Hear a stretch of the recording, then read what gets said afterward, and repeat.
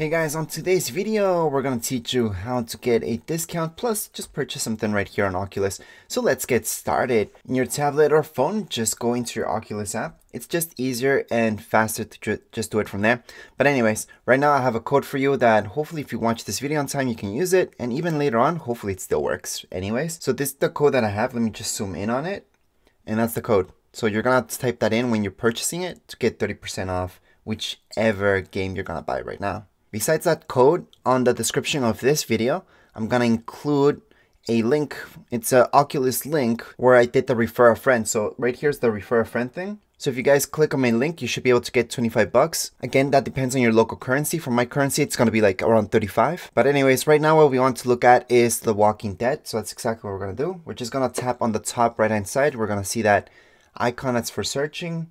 And we're gonna type in Walking Dead. There's actually only one game that's called Walking Dead for Oculus or Meta Quest 2, whichever you have. It's the exact same thing, by the way. It's just a different branding. And my second option does say Walking Dead. It's 45 bucks for me. For you guys, it could say actually 35 or so. And in this case, all we have to do is just tap on that price. Once we do that, it should take you to this page where it's just gonna ask you how do you want to pay for this. So I do have those 35 bucks a store credit. What I told you about refer a friend yeah, you guys can get that too, and you can basically get even a game for free.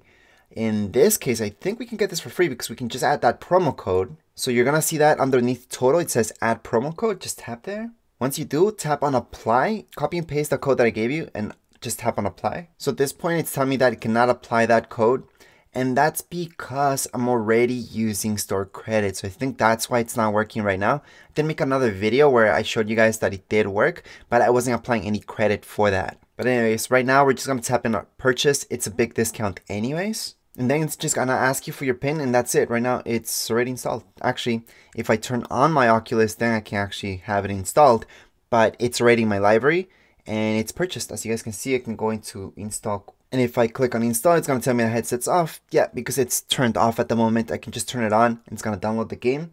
But it's been purchased. It's all good to go. But anyways, as far as this video goes, we're all done. If you guys have any comments, questions, you guys can write down here in comments area. And don't forget to subscribe and rate.